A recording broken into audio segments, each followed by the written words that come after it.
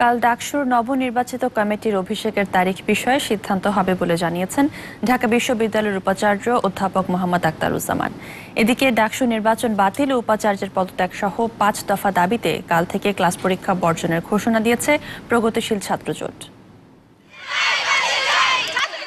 গত এগারোই মার্চ দীর্ঘ আঠাশ বছর পর অনুষ্ঠিত হয় ঢাকা বিশ্ববিদ্যালয়ের কেন্দ্রীয় ছাত্র সংসদ ডাকসু নির্বাচন। এতে ভিপি ও সমাজসেবা সম্পাদক ছাড়া বাকি তেইশটি পদে জয়ী হয় ছাত্রলীগ। নির্বাচনে ব্যাপক কারচুপির অভিযোগ তুলে তা বর্জন করে ছাত্রলীগ ছাড়া সব কয়টি প্যানেল।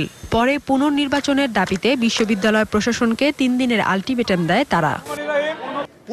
গতকাল সেই সময়সীমা শেষ হওয়ায় দুপুরে মধুর ক্যান্টিনে সংবাদ সম্মেলন করে প্রগতিশীল ছাত্রজোট। এতে ডাকসুর নির্বাচন বাতিল ও উপাচার্যের পদত্যাগ সহ পাঁচ দফা দাবিতে কাল থেকে ক্লাস ও পরীক্ষা বর্জনের ঘোষণা দেওয়া হয়। এই নির্বাচনকে আমরা মানি না।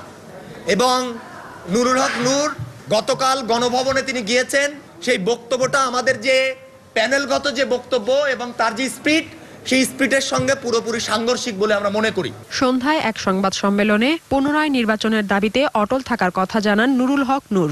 আন্দোলনকারী সহযোদ্ধা ভাই বোনদের সাথে আলোচনা করে আমি সেখানেও গিয়েছিলাম। তাদের যে পুনর্নির্বাচনের দাবি সেটি আমারও দাবি।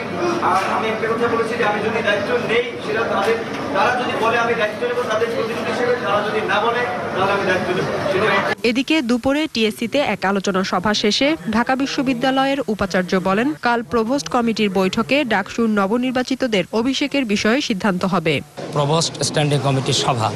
সেই সভায় আমরা সিদ্ধান্ত নেব কবে কখন সকল হল ইউনিয়নের এবং ডাকসুর কেন্দ্রীয় পরিষদের সভা অনুষ্ঠিত হবে। সেই সকল সভায় সিদ্ধান্ত গৃহীত হবে পরবর্তী কার্যক্রম। সভায় আরও কিছু বিষয়ে আলোচনা করা হবে বলেও জানান তিনি। সাদিয়া চৌধুরী দীপ্ত সংবাদ ঢাকা।